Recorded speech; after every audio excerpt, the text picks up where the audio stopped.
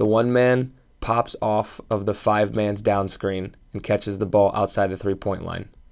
The five and the two set a stagger screen for the three, making sure that there's space in between them.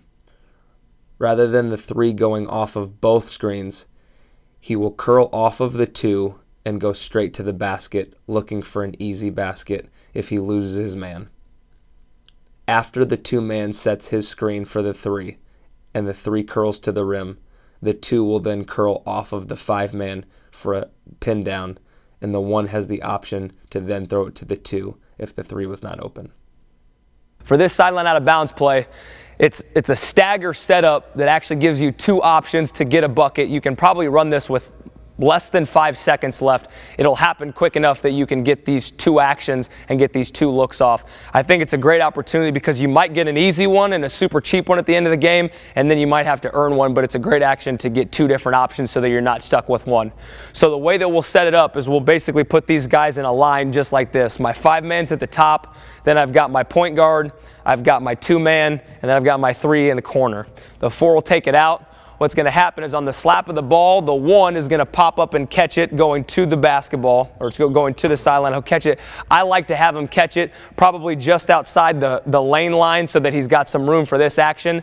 Now what's going to happen is the five and the two are going to go to set a stagger screen. Now if you guys freeze, most people when they see this, they assume that this guy is going to come off of the stagger maybe this guy might slip and he's going to try and get the shot. So what's actually going to happen is the three is going to set his guy up you need to allow a little bit of space right here, and he could probably even be a little closer if he wanted to.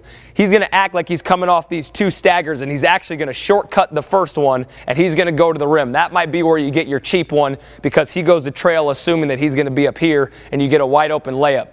In the event that he doesn't get it, the two man's going to wait after he sets the screen for about a second, and then he's going to peel back and come off the five man, and the one's going to hit him for a shot. So you can either go to the elbow, you can pop back. If you catch the ball, you're probably going to have to get a shot either on the catch or maybe off of one dribble.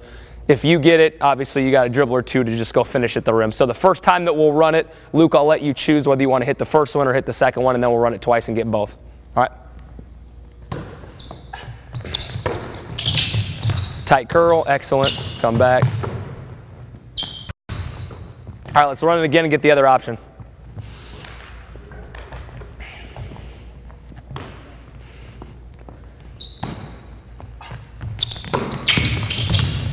Tight curl. There he is right there.